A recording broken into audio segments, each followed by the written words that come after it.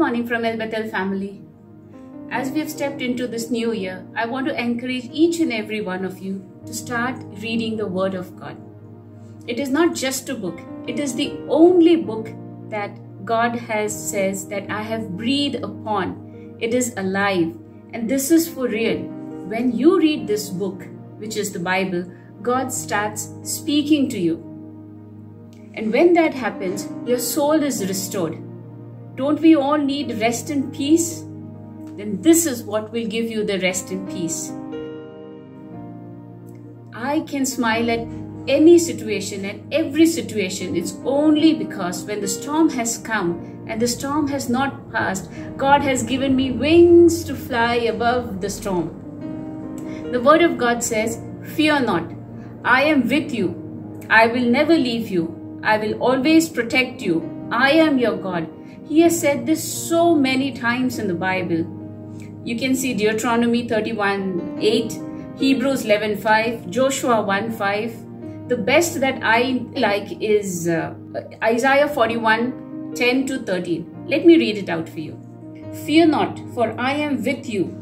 Be not dismayed, for I am your God. I will strengthen you. Yes, I will help you. I will uphold you with my righteous right hand. Behold, all those who were incensed against you shall be ashamed and disgraced.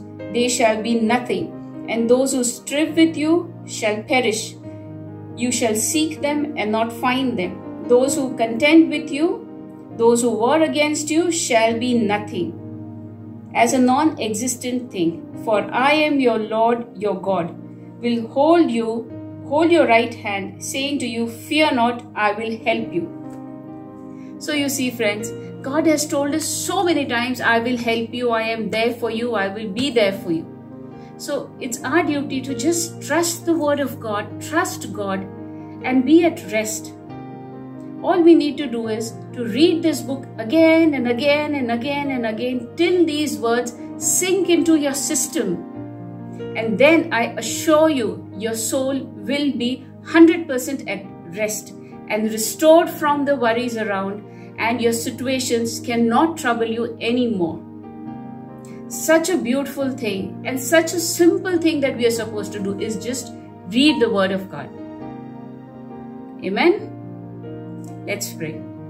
Thank you, Lord, for this wonderful word that you've given us, for this wonderful promises that you keep reminding us throughout this Bible that you will never leave us and we need not be fearful of any situations and any troubles around us. And you will take care of our enemies. And in you we put our trust. In Jesus' most precious name I pray. Amen.